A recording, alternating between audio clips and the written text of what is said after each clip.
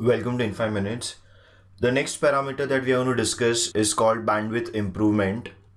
We all know that noise power, which is due to the thermal noise which exists in all the communication systems, is given by the expression n equal to kTB, where k is Boltzmann's constant, T is the temperature in Kelvin, and B is the bandwidth of the system which is under consideration if let's say any system or receiver in this case is receiving a signal in a specific bandwidth then the noise power that will enter into the receiver will be directly proportional to that bandwidth over which the receiver is operating. So if we make any system operate at very large bandwidth the corresponding noise power entering into that system will also increase.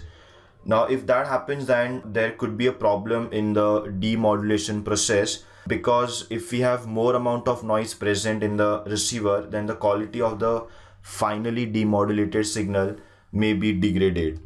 And hence we have to make sure that we do not operate receiver at greater frequency than required. It should be operated at precise bandwidth in which it has to select the desired signal frequencies now in any super heterodyne receiver there are two parts the first is RF section or we say RF amplifiers.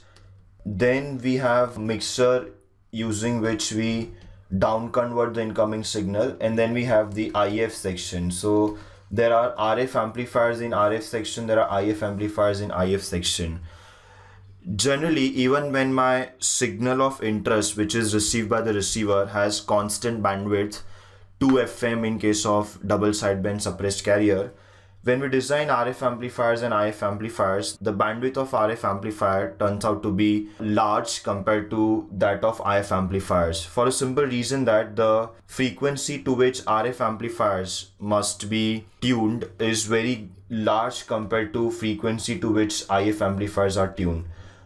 RF amplifiers must amplify signals present at carrier frequency because the signal is not down converted before mixer stage. The signal is down converted only after mixer stage. So when the signal reaches to the IF section or the IF amplifier, the new frequency that is available is nothing but IF, the intermediate frequency, because carrier frequency FC is down converted with the help of local oscillator frequency F4 to give intermediate frequency. And we all know that the bandwidth is directly proportional to the resonant frequency. So because of large resonant frequencies, generally RF amplifiers tend to have more bandwidth compared to IF amplifiers. So how do we define bandwidth improvement parameter? Bandwidth improvement parameter BI is defined as bandwidth of RF section of the receiver divided by bandwidth of IF section of the receiver.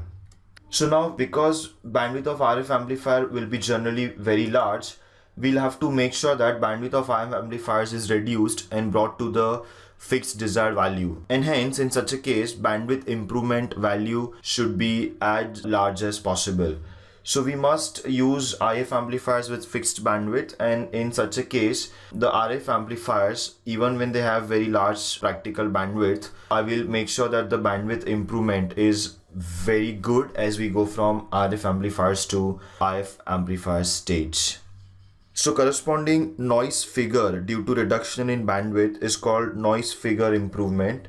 So we can define noise figure improvement as nothing but dB value of the bandwidth improvement. So it is 10 times log of bandwidth improvement and log is taken to the base 10.